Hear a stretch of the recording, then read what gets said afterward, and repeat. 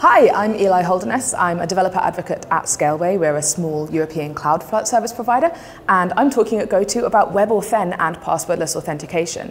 So passwords suck, we know this. As a user experience, they suck, they're difficult to remember, and even if you use a password manager, it's just kind of unwieldy. They're also difficult to store securely. If you look at Have I Been Pwned, the, um, is it Troy Hunter is the guy who runs that, I think, and you can see millions, billions of passwords and username combinations that have been leaked. So they're insecure and they're bad user experience. Can we do better as developers, as designers of this user experience? And the answer is yes, yes we can. So we already have public key cryptography, um, asymmetric uh, cryptography, where you can have a secret private key and you can demonstrate ownership of that private key by signing things with it and having a corresponding public key. And very, very clever hardware engineers managed to make um, hardware security tokens, which physically embody these private keys.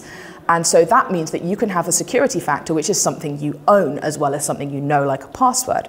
And this is where we get the idea of multi-factor authentication.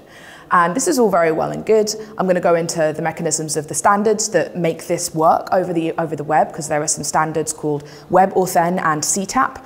And WebAuthn defines how browsers should talk to security tokens, and CTAP defines how security tokens should talk back. They're kind of like a mirroring set of specifications.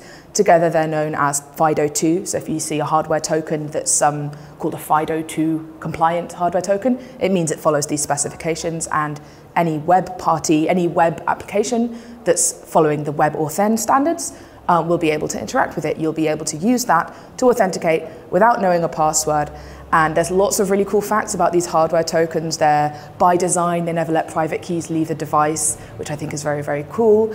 Um, and so my talk is about how this actually works, some of the usability features of hardware tokens, some of their drawbacks, where the technology might take us next. I'm going to talk about passkeys, which are the new hotness in the web security world, um, what they are, how they work, what their security posture is, and then finally look at where we might go next in the future and what the future of the user experience of authentication could look like.